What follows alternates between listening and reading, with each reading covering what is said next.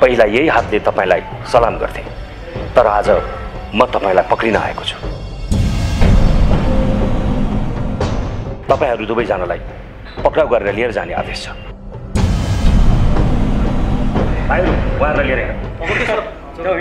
DSP मात्र हो र मन्त्रीको छोरालाई नै समातेछन्। हेर्नुहोस् यो सब नाटक हो सब वाहियात हो। मन्त्रीको छोरा र डिएसपीलाई पनि छानबिन गर्न सकिन्छ होला त। भोलि नै छुटकारा पाइहाल्छ। तिमीलाई एउटा कुरा सोधौँ? सोध्नुहोस् न आमा। छोरी सरह स्थान पाएकी छु। यो घरमा अनि तपाईँको मनमा। मलाई जे सोधे पनि हुन्छ आमा। मान्छे तिमीलाई मसँग सुरभिसँग चित्त दुख्यो होला दृष्टि दृष्टि।